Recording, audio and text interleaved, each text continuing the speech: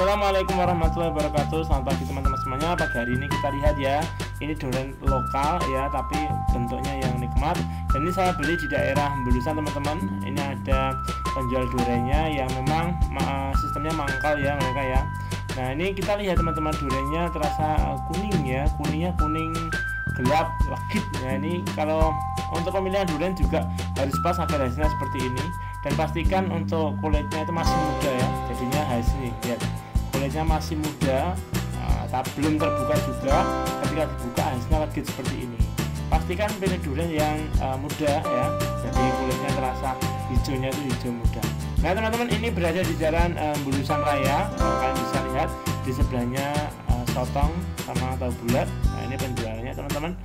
Nah teman-teman semuanya uh, dalam pemilihan durian ini kalian harus tahu tips-tipsnya ya terlebih dahulu. Nah, nanti hasilnya menjadi seperti ini bisa dilihat. Empuk bulan ini tapi jangan terlalu empuk ya. Ini uh, padat lah. Ya padat nih. Nah, empuk. Nah selalu kuningnya juga kuningnya kuning uh, oranye. Jadi rasanya nikmat. Sekali nanti kita akan coba teman-teman. Bagaimana rasanya? Nah ini saya coba ya.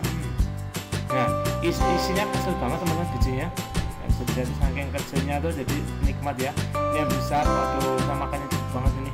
Nom nom nom. Enak banget teman-teman. Jadi saya makan sendirian jadi lebih enak ya. Enak, enak sekali teman-teman. Dan perlu diketahui dalam pemilihan durian itu kalian harus tahu tips-tipsnya ya teman-teman ya. Yang pertama pilih durian yang belum terbuka ya. Kemudian jangan pilih warna durian yang coklat coklat tua apalagi bolong-bolong jangan. Pilih yang seger hijau kemudian belum terbuka dan yang pasti untuk mendapatkan durian dengan kualitas yang enak rasa yang enak kalian harus mencicipinya. Bilang sampaikan ke penjualnya pak sama mencicipi dulu sedikit saja. Nah biasanya kalau penjual durian pasti akan memberikan uh, garansi. Ya seperti itu.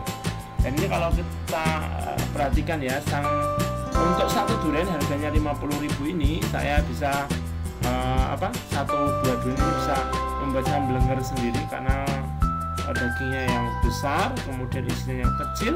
Rasanya nikmat. Ini sekelas dengan montong teman-teman. Jadi kalau kalian beli uh, tidak rugi ya. Walaupun durian durian lokal tapi dagingnya montong rasanya lokal. Nikmat sekali. Enak sekali teman-teman. Dan ini terakhir ini tinggal sisa dua. Dan ini uh, apa slot yang terakhir ya. Nikmat sekali. Bagi teman-teman yang ingin mendapatkan durian enak kalian bisa uh, komen di bawah ini. Nanti akan saya berikan tipsnya